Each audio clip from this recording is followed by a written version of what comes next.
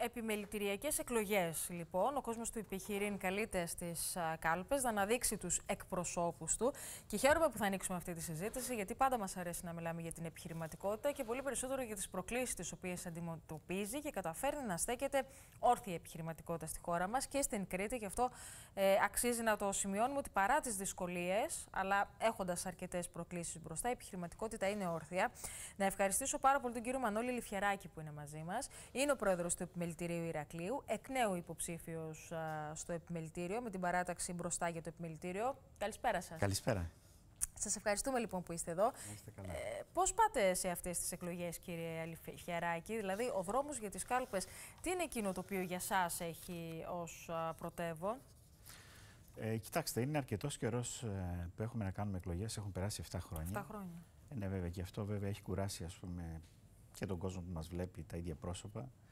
Ε, από την άλλη όμως ε, είναι μια πρόκληση γιατί θέλω να πω ότι κατά τη διάρκεια από τις προηγούμενες, μέχρι, από τις προηγούμενες εκλογές μέχρι τώρα ε, το επιμελητήριο Ερακλείου έχει πάει μπροστά. Τι εννοώ δηλαδή. Ε, καταρχάς έχει ανέβει κατηγορία. Δηλαδή από 31 συμβούλους που είχε ε, πάμε στους 41.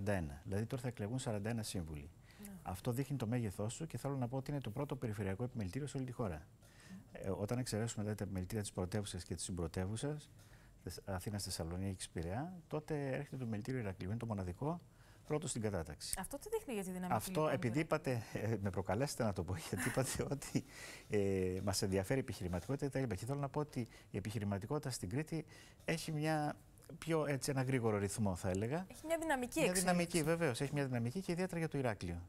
Ναι. Έτσι, και αυτό αποτυπώνεται δηλαδή και στις επιχειρήσεις οι οποίες είναι ενεργές και στο ενδιαφέρον που υπάρχει για τις εκλογές. Γιατί γι' αυτό είναι κάτι ας πούμε, το οποίο δείχνει ότι υπάρχει ένα ζωηρό ενδιαφέρον. Ε, και αυτό εντάξει, εμάς μας ικανοποιεί σε πρώτη φάση που είμαστε στη διοίκηση του επιμελητηρίου αυτά τα χρόνια και νομίζω ότι πρέπει να προχωρήσουμε ακόμα περισσότερο για να ε, κατακτήσουμε και άλλες πρωτιές, θα έλεγα. Mm Το τελευταία χρόνια η αλήθεια είναι ότι η επιχειρηματικότητα δοκιμάστηκε πάρα πολύ. Ε, αν μη τι άλλο, τα χρόνια της οικονομικής κρίσης, τα χρόνια της υγειονομικής κρίσης, από κρίση σε κρίση λοιπόν, η επιχειρηματικότητα ήταν το πρώτο, ο πρώτος τομέας ο οποίος ε, αντιμετώπιζε σοβαρό πρόβλημα. Κάποτε, θα θυμάστε και εσείς τα ρεπορτάζ, μετρούσαμε τα λουκέτα. Βέβαια, ακριβώς, ακριβώς, ναι.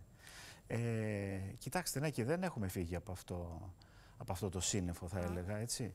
Είμαστε ακόμα ας πούμε, περικυκλωμένοι από διάφορους κινδύνους και από τις, ε, αν θέλετε, από τα απόνερα αυτά της κρίσης, έτσι, τα οποία εκδηλώνονται σε διαφορετικό βαθμό βέβαια. Ναι. Ε, βέβαια, κάθε κρίση είναι και κάποια ευκαιρία θα έλεγα, δεν θα έλεγα έτσι, ε, για να αλλάξουν κάποια πράγματα. Να αλλάξουν, ναι. ναι ε, πιστεύω ναι, ότι αρκετά έχουν αλλάξει, ε, άλλα προς το καλύτερο βέβαια, όχι πάντα όχι πάντα προς το καλύτερο και άλλα προς το χειρότερο. Mm. Δηλαδή, βλέπουμε μικρές επιχειρήσεις οι οποίες να μην μπορούν να αντέξουν ας πούμε, όλες αυτές τις υποχρεώσεις και τα μέτρα τα οποία έχουν, ε, ε, ε, έχουν εφευρεθεί τον τελευταίο καιρό ή μάλλον έχουν μπει στην ημερήσια διάταξη των επιχειρήσεων. Έτσι.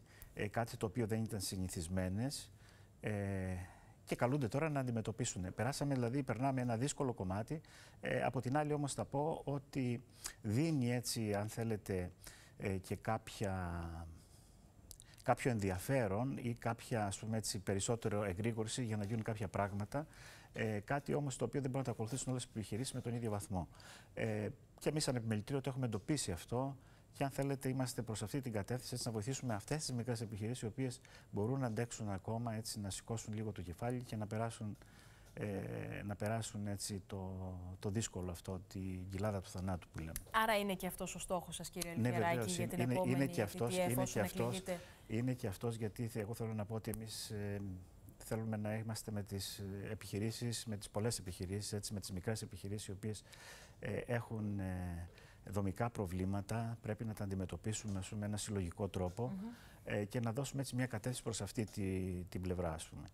Ε, και αυτό, αν θέλετε, είναι που μας κάνει και εμάς έτσι να έχουμε το ενδιαφέρον για να συμμετέχουμε άλλη μια φορά, όπως αποφάσισε και η παράταξή μας, σύσσωμα, να διεκδικήσουμε και αυτή τη φορά έτσι, την διοίκηση του επιμελητηρίου, ε, με σκοπό έτσι για καλυτέρευση του οικονομικού περιβάλλοντος γενικότερα και ένα, αν θέλετε έτσι, μια ε, προσφορά προς τις επιχειρήσεις, γιατί αυτός είναι ο σκοπός μας, ε, για να μπορέσουμε να αντιμετωπίσουμε αυτά τα δύσκολα τα οποία έχουμε, περάσαμε τα τελευταία χρόνια και παραμένουν, ας πούμε, έτσι, στο, ε, στο κάδρο ακόμα. Η μικρομεσαία επιχειρηματικότητας είναι η Και ραχοκοκαλιά του η μικρή, επιμελητηρίου. βεβαίως. Μικρή, Η μικρή, η μικρή, κοιτάξτε, γιατί με, τα, με τους όρους, εγώ λέω τώρα με τους όρους της Ευρωπαϊκής Ένωσης, ας πούμε, πρόκειται περί μικρών και πολύ μικρών επιχειρήσεων. Αυτή, είναι, αυτή είναι η πλειοψηφία. Δηλαδή, είναι το, το, αν έχουμε 26.000 επιχειρήσεις μέσα στο Ηράκλειο, Ναι. ε, το 1,90 και πάνω από το 90% είναι μικρές και πολύ μικρές επιχειρήσεις. Έτσι, ούτε καν μεσαίες. έτσι.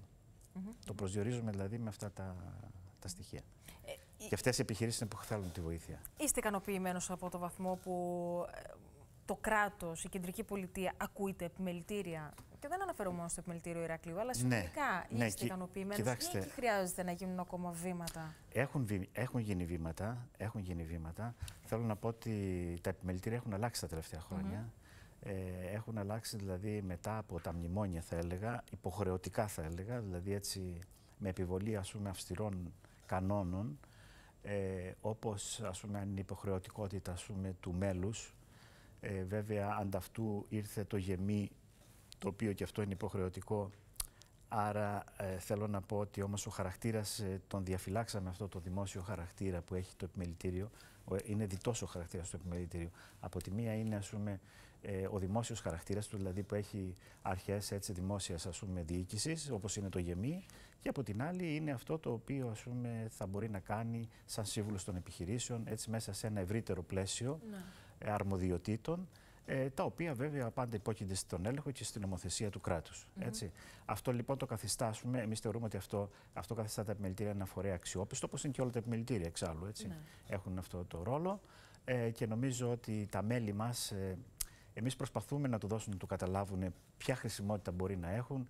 Δεν το καταφέρνουμε πάντα, δεν είναι εύκολο. Με γιατί- προλάβατε και ως προς Ναι. την ανάγκη της συμμετοχής στις εκλογές. Δηλαδή, ε, η μεγαλύτερη συμμετοχή βγάζει και πιο ενδυναμωμένο ένα επιμελητήριο.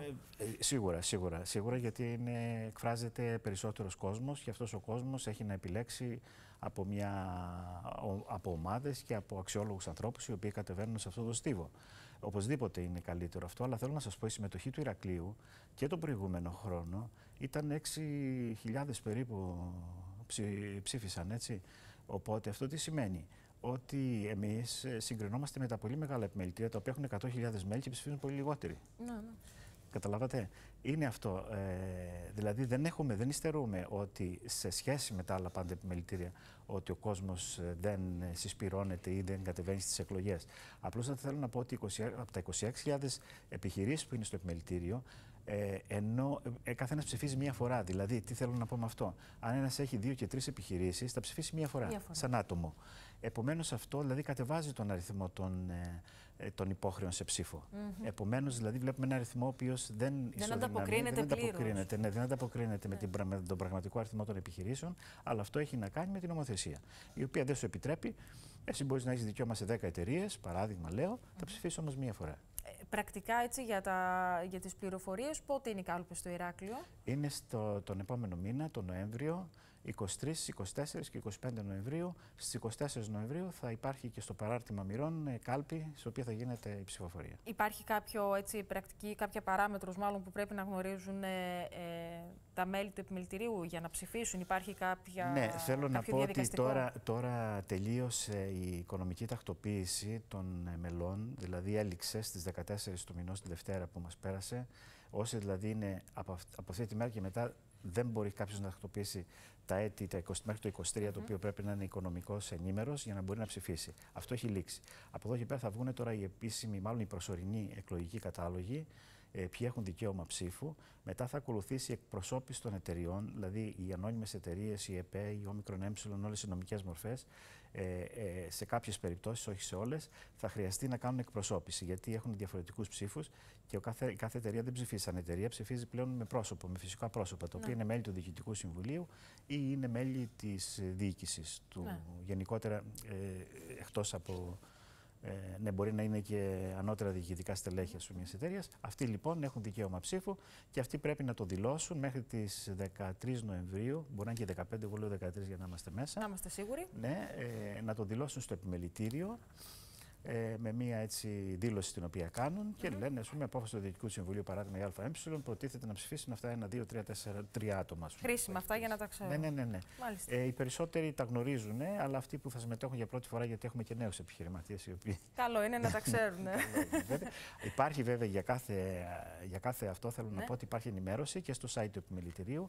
Υπάρχει και ανακοινώσει οι οποίες είναι και στον τύπο της Εκλογικής Επιτροπής, γιατί αυτά πλέον τα χειρίζεται η Εκλογική Επιτροπή, δεν τα χειριζόμαστε εμείς. Ωραία. Και εντάξει, ενημερώνονται πλήρως όλοι.